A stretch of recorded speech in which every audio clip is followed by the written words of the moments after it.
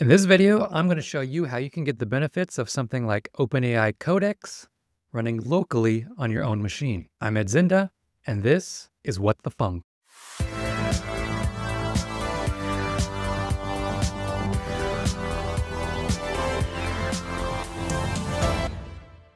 Recently, to capitalize on the AI coding agent trend, OpenAI released a new platform they called Codex. Not to be confused with the local coding agent tool or the CLI coding tool that they released a few months ago, also called Codex. The purpose of this new Codex platform is to allow developers to basically launch new coding tasks in the cloud, and these coding tasks will run against their OpenAI LLMs, and then complete these coding tasks in isolated cloud environments, and then create a PR to your repo with the completed task. And this is useful because you can go ahead and run multiple tasks in parallel and not worry about the AI agent actually clobbering the progress of some other AI agent because everything's isolated in its own little environment and then you can go ahead and check the progress or check the results of the task that the AI coding agent completed and decide whether or not you want to merge that into your repo or ask it to change something, for example. But the problem with this is you're stuck using OpenAI's infrastructure to run your AI coding tasks. Now, some people may not have a problem with this. I, on the other hand, would rather run these kinds of things on my own infrastructure, or better yet, run them locally so I can monitor them whenever I want to and not worry about the fact that OpenAI's infrastructure may go down, or I don't know, something that keeps me locked into any sort of big provider scares me a little bit. So I've found a nifty little tool that allows you to have the same benefit of running your AI coding agents in isolated environments, but they run locally on your machine and they use the power of Docker, which most developers already have installed on their computers, and it gives you the same benefits. So you can run your AI coding tasks one after the other in parallel without worrying that they're going to clobber your main branch or clobber the progress of other agents working in the background. Now, the tool I've been talking about is a tool called Container Use, and it's built by a company called Dagger. It runs a separate tool, which is somewhat related to this tool, and they do orchestration of different workflows and automations. And all of this is powered by Docker and different containers. But they created this other separate tool called Container Use. Now let's go ahead and check out the Git repo. And Container Use is an MCP server that uses the Dagger stuff under the hood, and it allows your coding agent of choice to utilize containers to spin up an environment and then start building or coding inside that environment without ruining any of the code that's in your main branch. So if you read the features here, they work in isolated environments. It has real-time visibility, which I'll cover a little bit later. You can jump into the environment to see what the agent is actually doing. And then you can, once the agent is done, you can pull in their changes to your main branch if whatever test they completed is up to standards. So here they have a bunch of different ways to install. I have already installed it on my machine. You can use one of these different methods here.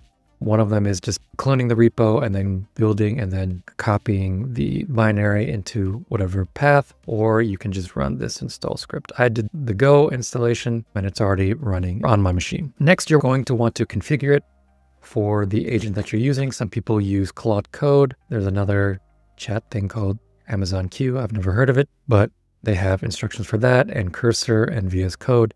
So basically any coding editor that has AI and MCP capabilities, they have instructions for how to do that. For the example in this video, I'm not going to be using any of those applications. I'm just going to be using an application I wrote myself called MCP Host. And all MCP Host is, is just a lightweight wrapper around LLMs and allows you to add different MCP servers. So it's just a tool I built for testing out different MCP servers. Uh, I built this around the time that MCP first came out, and not a lot of tools actually supported MCP servers. I just needed a way to be able to build MCP servers and test them. And this is what I built. Uh, I've recently refactored it quite a bit to make it look a little better.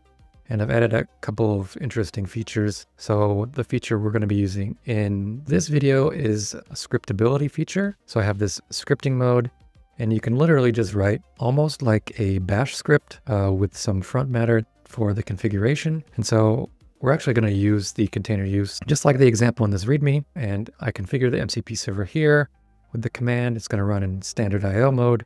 And then we're just going to pass in a prompt ourselves. I'll show you later in the video. But basically, if you give this script execute permissions, you can run it just like any command on your system. And I've already done that. I've uh, configured uh, the CU or the container use MCP server with a custom system prompt. And uh, I just have a script called AI dev, and I can literally just run it with a argument dash p and give it whatever prompt I want. So that's what we're going to do in this example. So I'm in a directory called cu to do. Uh, let's see what's in it. I've just got a README file and it's a pre-initialized Git repo. In order for the container use to work, it needs to be a Git repo. And I've also had issues trying to run anything from scratch. So there needs to be at least one file in the repo for whatever reason. So I created this empty README.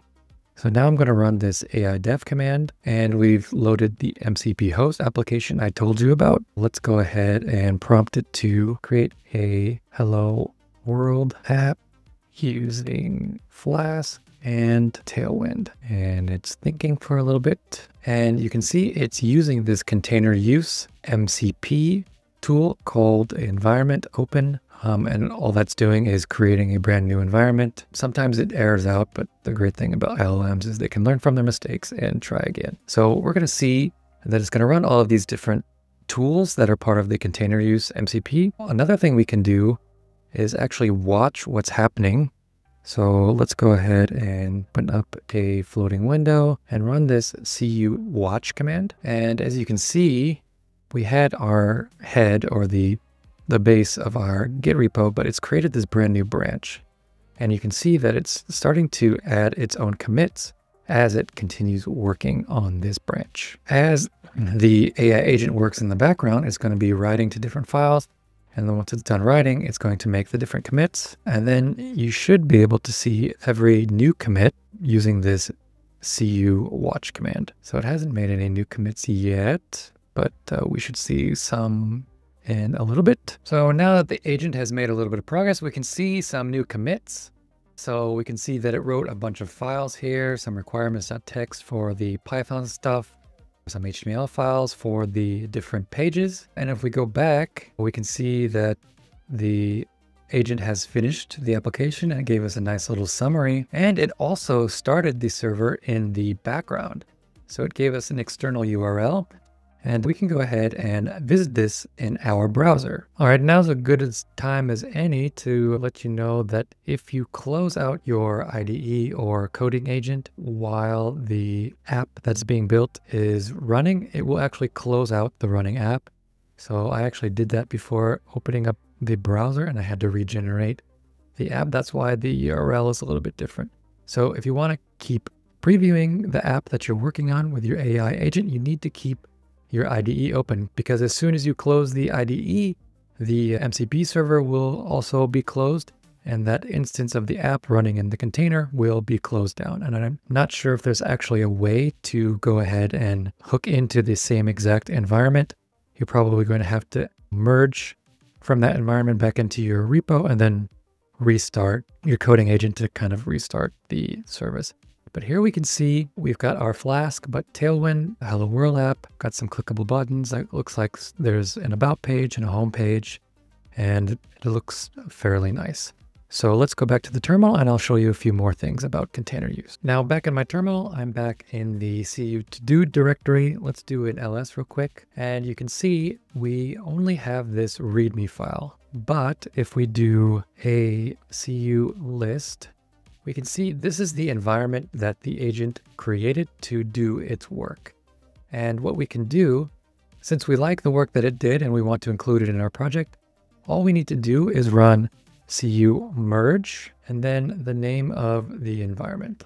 So I'm going to copy this, paste this, and it went ahead and merged everything it created into the main or the root of my repo. So let's do an ls again, and we can see we have all of these files. We have the app.py, we have the templates. So let's ls templates, and we can see all the index.html, etc. So now what we can do, say we want to add a new feature or we want to change something in this repo or in this project, we can go ahead and ask the agent to go ahead and make some changes. But in this example, I'm going to ask the agent to make some changes in parallel and we're going to see how that works out. So I'm going to say modify this application by creating two different variations. One that is Pong and the other that is, I don't know, let's say emo MySpace inspired. Give me both when finished. So this is going, hopefully going to ask the agent to develop both of these variations in parallel and then I can go ahead and inspect each of them and decide which one I like best and then merge that one. So let's go ahead and kick this off. Actually, I think what's happening is the agent is trying to edit both themes inside the same environment. So let me go ahead and close this out. I'm going to try again, build two variations of this app in two separate environments one with cyberpunk theme and the other with an emo MySpace theme. Give both URLs when finish. I can't type today. So let's see if this will kick off two separate environments, which is what I want it to do. Looks like it needs some prompting. I'm going to ask it to just modify this current Hello World Flask app. So it's going to open up and have a look at the original app. All right, now it's creating a brand new environment for the Cyberpunk version, and we'll just go ahead and let that run. All right, we can see that it went ahead and edited a bunch of things to create the Cyberpunk theme, and then it went ahead and started the server for that and then the emo MySpace theme and created a different environment for that one. Uh, and then at the end, it gave us the URLs for both of them. So let's go ahead and check those out. So here I have opened up the supposedly cyberpunk version and I don't know what happened, but it didn't do a very good job it seems. So all we see is this grid and basically nothing else. So I can safely say we're probably going to discard this version. Let's go ahead and check out the emo MySpace version. Now this one, it did a lot better job. And this actually takes me back. I don't know how old uh, some of you guys are, but if some of you are old enough to remember MySpace, this is almost exactly how it looked, especially if you went to somebody's profile who considered themselves emo. Yeah, I like this My Chemical Romance with darkness. Yeah, this is perfect. So if we really wanted to use this, a different variation, all we need to do is run the command like before um, but I'm going to show you how you can actually jump into one of these environments and actually inspect the files inside before actually merging something. So we'll go back to the terminal for that. Now back in the terminal, let's go ahead and do cu list one more time. And we can see we have a bunch of different environments, but the two we're interested in are these. Is this Cyberpunk and the emo MySpace. Uh, as you recall, this Cyberpunk one had some issues. So say we wanted to go ahead and check what went wrong. Uh, we can do something like this. So cu terminal and then the name of the environment. And we'll go ahead and drop us into the actual container uh, so we can see uh, what's going on. So we can do something like cat app.py or we could go into the templates. Let's actually try running this with bash for a better jump. No, we're running in bash, whatever. So I don't know, I'll just check out index.html. I'm not going to debug what happened, but say you wanted to kind of review the code and see what went wrong, you could do that that way. I believe this is an Ubuntu container that it's running in. So let's see if uname works. Uh, no, it doesn't look like Ubuntu. I don't know. Let's see if we can install Vim. Yeah, so it's basically Ubuntu or Debian. It has apt So if you wanted to actually edit things from within the terminal, you could install Vim like I'm doing now and then edit that stuff. But we won't go into that in this video. And that's how you can run your AI coding agents inside isolated containers without having to worry about whether or not the agents are going to destroy what's in your main repo or interfere with other agent jobs that are working in parallel. If you enjoyed this video, make sure to smash that like button. If you have any comments or questions, leave them down below. If you'd like me to make some other videos about container use, or maybe a video about the MCP host application I told you about, let me know in the comments below as well. Once again, thanks for watching, and I'll see you in the next video.